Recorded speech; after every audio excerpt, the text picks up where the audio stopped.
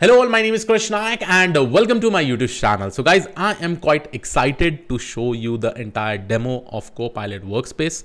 If you have not got the access, then please go ahead and click the join the waitlist. And in some days, probably you'll be able to get this particular access uh, for a single user. Now, what exactly Copilot Workspace is, I hope everybody has heard about GitHub Copilot, right? It provides you suggestion with respect to the code. You know, if you are specifically using in any kind of IDEs, then automatic, whatever code you really want to write, you just give it in the form of comment section and you'll be able to get the entire code, right? Um, but here, what we are specifically going to discuss about is Copilot Workspace. Now, this Copilot's Workspace is something different when compared to GitHub Copilot. It does many more things over there, right? Um, and trust me, this really makes your coding journey very much easy. Please watch the demo till the end. You will definitely be understanding. So what it actually helps you to do automatically with respect to any issues that you're specifically working on uh, it will provide you all the suggestion what all code files it needs to probably create what all code it needs to create. Based on just a single prompt you will be able to get each and everything. Not only that let's say you're creating a project from scratch you're solving any issues in some open source project everywhere it will be able to help you out. It also includes documentation. It provides you a lot of ai assistance and many more things right? So let us go ahead and probably talk one example over here. So i'll just go to my github.com I will just go ahead and create my new repository. First of all, I'll just show you when I'm probably creating any project from scratch, uh, how I'll be able to create it. So here, uh, let us go ahead and write some ML project. Okay. And I will just go ahead and do this. I'll say add a README file, let keep it public.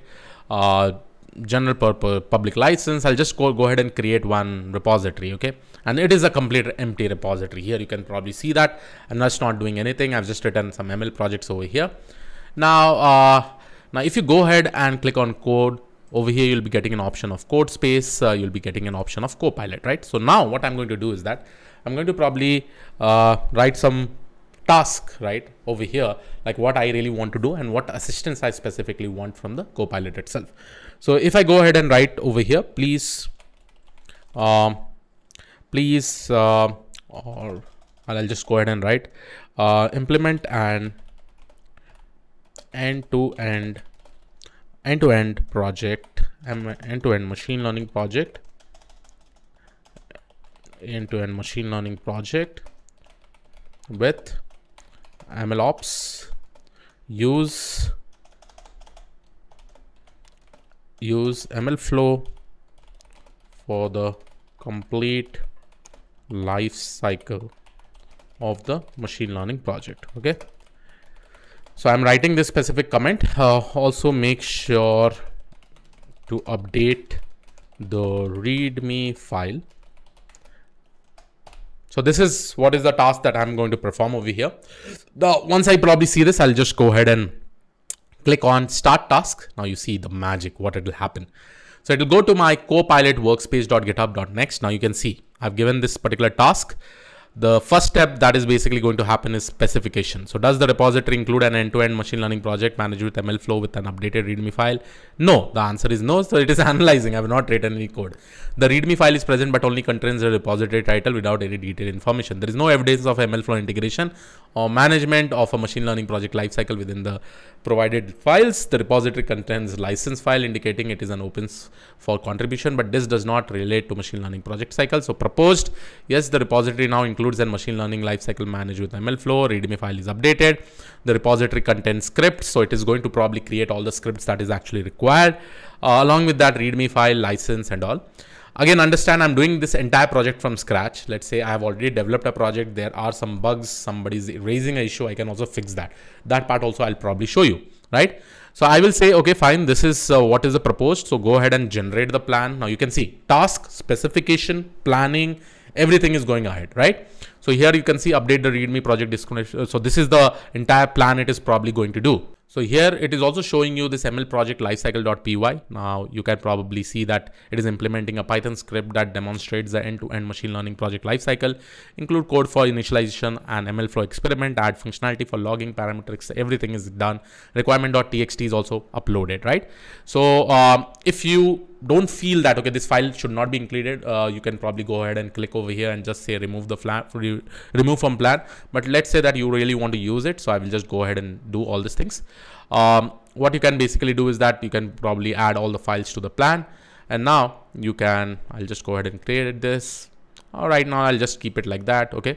And now let's go ahead and implement all the selected files over here right? So i i will not even click this. I will just go ahead and click on implemented selected files. Now as soon as i probably click this now you can see the entire implementation will start right? And this is really good uh, for a basic project yes for an end-to-end project wherever we are getting some kind of issues that can be also solved through that right? So now you can see the entire implementation is again done by the copilot itself.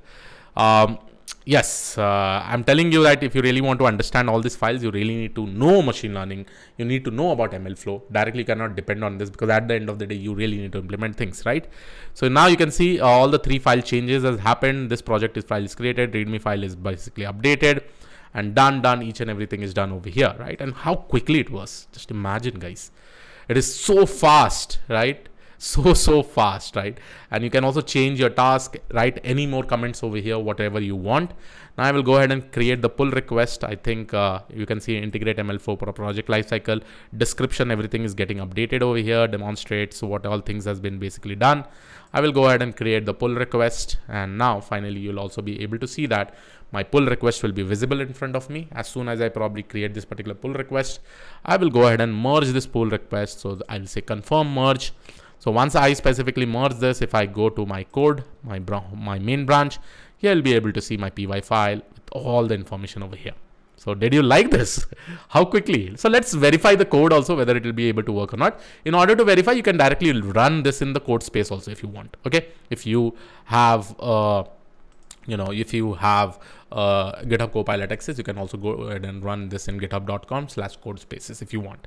Okay? So that is something different but here you can see yes the code looks absolutely fine. I've executed this particular code even though before i've created this kind of tutorials. But all together the entire code is basically over here and you can see the entire ml flow project is done. So that is what i really wanted. The task that i had actually given was an end-to-end ml flow projects and all anything that you want right? So um, if you specifically want to work on any issue, just create a new issue. And let's say that I'm creating an issue over here. And I'm going to say add modular coding with classes and inheritance. Okay. Okay. Inheritance and try to re and try to create a structured folder. Structured folder in the project. So I'm just giving some command over here. Let's see. So I'm going to submit this particular new issue over here. Okay. Now with respect to this particular issue, you will be able to find it over here. Now what I'm going to do, if I really want to solve this issue or anybody who wants to solve this issue, I will just go ahead and click over here. And then you'll be able to find one option which is called as open in workspace. So I will just go ahead and click it, right? Now automatically this issues uh, also it will start analyzing and you'll be able to see that all specification, proposed plan and implementation will start, right? Yes, uh, it will definitely require some of your help. It will just not give you the 100% accurate things for more complex things. But yes, this looks wow. I am really excited to see all these things. Just imagine the kind of work that you'll be able to do. Wow. If you're a super cool developer, if you know in and out of each and everything. So here you'll be able to see everything, right? So here you can see implement inheritance by creating base ML model with ML project lifecycle, create an empty file to make spreads in init.py models, data, model base ML, readme file, everything is implemented. Now I'll just go ahead and click on implemented. So this is the file changes that is specifically happening. Let's see the file changes are happening over here. All the files are basically getting created. You'll be able to see, oh, nice. All the code is also basically getting written. Now, I know some people will be afraid, Krish, what we really need to do. this is one of the most common question that I get from people. Guys, see, why I am getting excited by seeing all these things. Just imagine over here because I, I, I have already implemented all these things, right? And just let's say that I want to probably create a new project. I want to work in my company. And if I have all these features, I will be able to create quickly, right? I'll be able to create anything as such quickly, right? And here you can see all the comparison of the files is also done, right? This was the before part and this is the new part over here. Now you can see more amazing functions, classes, everything is used. So this is the power of AI. Padna start karo AI bhai. Right? You'll be keep on seeing new things that are basically happening. Everybody will be worried about your job, but just imagine the kind of productivity that you will be able to do it. Now I'll just go ahead and do the create pull request. And now I will do the pull request. Now with respect to any open source project you see, go ahead and see in Llama 3, generative AI, anywhere, wherever there is an issue, just try to open it and try to see whether it will be able to fix or not. If there is a complex issue, if the project is huge, it will probably take time, but this will be very handy when you're creating completely project from scratch because you'll be able to understand that particular project, what is the uh, folder structure and all, what is required. So I'll finally confirm the merge over here and now here you will be able to see that uh, the merge will be getting confirmed. And now finally I get my code.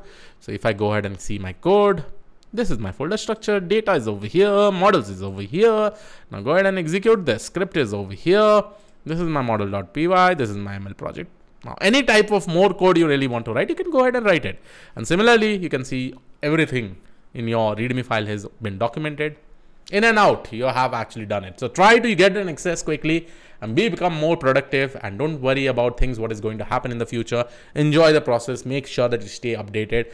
And if you don't stay updated don't worry i'm there i'll be keep on uploading videos right? So yes this was it from my side. I'll see you in the next video. Have a great day. Thank you one doll take care. Bye bye